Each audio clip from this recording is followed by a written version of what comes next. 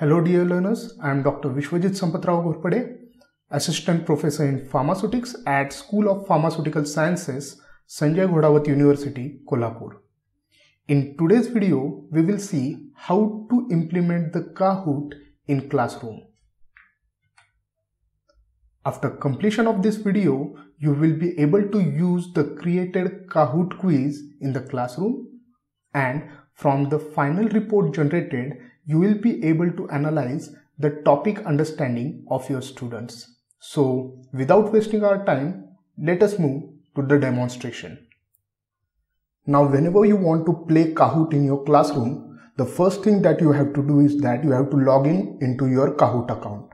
Now here you can observe my another user account which I have created in Kahoot and this is the quiz which I had already created in this account. So first you have to click on your Kahoot quiz which you have created. So I will click on this Kahoot quiz.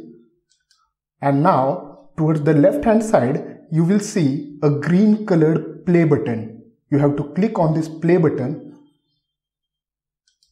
And now this screen will be displayed by the LCD projector in front of your students.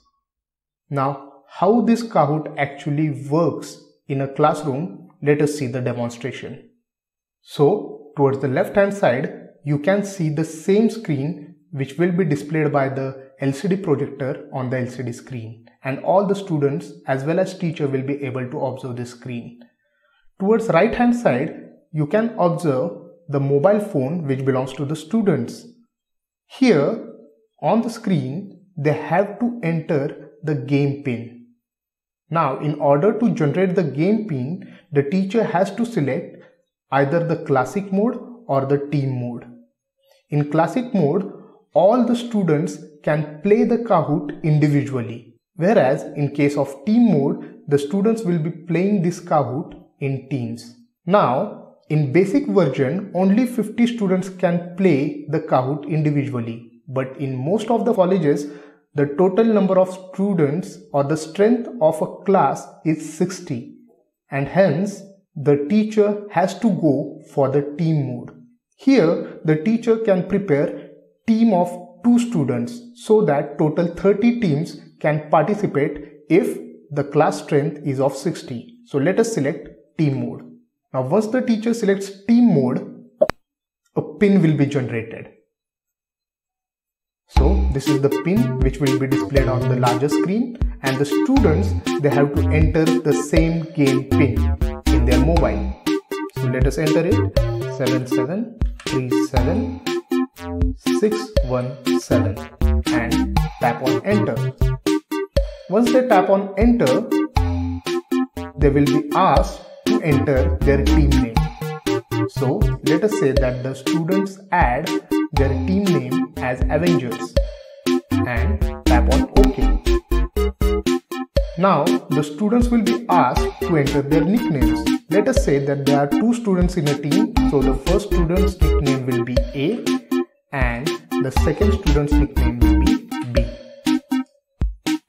And then ask the students to tap on ready to join.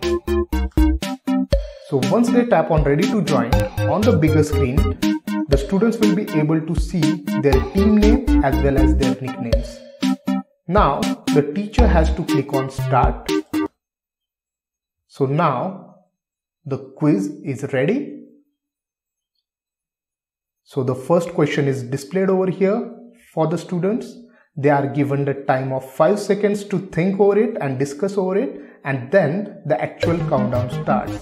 The student have to select the appropriate push button. For example, the third option over here is parenthesis push button is blue color so they have to tap on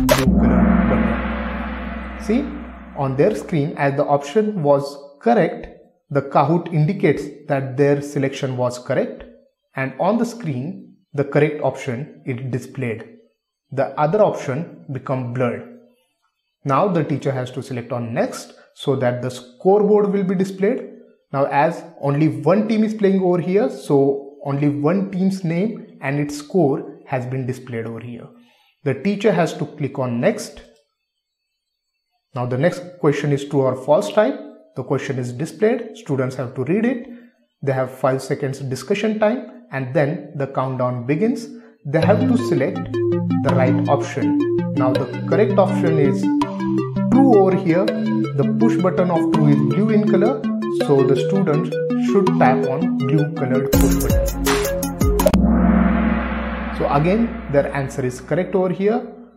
They are getting the score of plus 882 and on the bigger screen again the correct option has been displayed.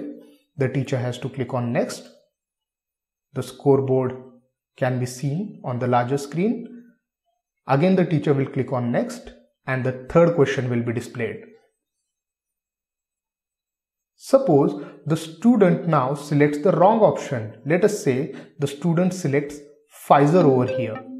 And for Pfizer the push button is green colored. So they will tap on green colored button over here.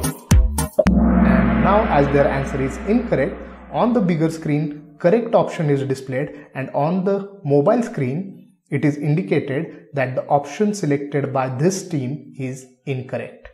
Now the teacher has to click on next so first three top teams name will be displayed on a bigger screen and also Whoever is the winner, his mobile screen will show this display, indicating the team has secured first place.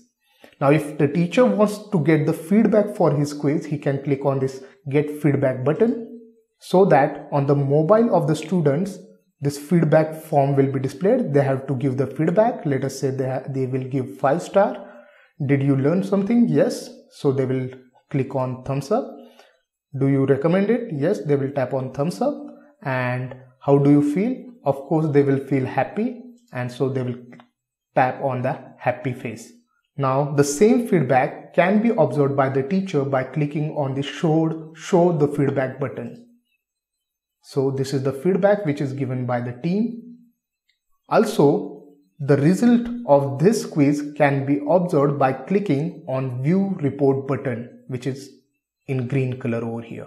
So the teacher has to click on view report and this report opens in a new tab. You can see the rank and the team name is displayed over here. Accuracy of answering the right question is displayed over here and final score is also displayed.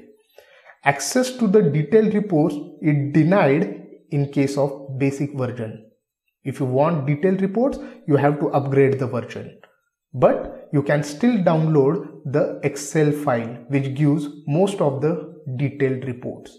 So if you click on the download Excel file button over here, the Excel file will be downloaded. If you click on this Excel file, so the quiz was played on 21st February. So the date comes over here. The nickname or you can say the username of the teacher comes over here then how many players have played it how many questions were played overall performance can be observed over here and the feedback given by the students can also be observed now on the second sheet the final scores of all the teams can be observed and in the third sheet that is Kahoot summary you will see the summary of the entire quiz. You can see the rank, you can see the team names, you can see the total points which have been scored by all the teams and you can also observe that how was the performance of the teams for the respective questions. For example, let us say that there is one question where more number of red marks are observed if more number of red marks are observed for one particular question, this indicates that most of the students have given wrong answer for that questions which indicates that teacher has to revise the topic related to that question once again to the students. Further, question wise report has been given in different sheets and lastly, raw report data is also given in this sheet. So most of the detailed report can be observed in this Excel sheet. So I hope now you have understood how to use Kahoot for interactive teaching learning process. In case of any difficulties or any doubts, you can contact me on my email ID. I once again thank you all and happy learning.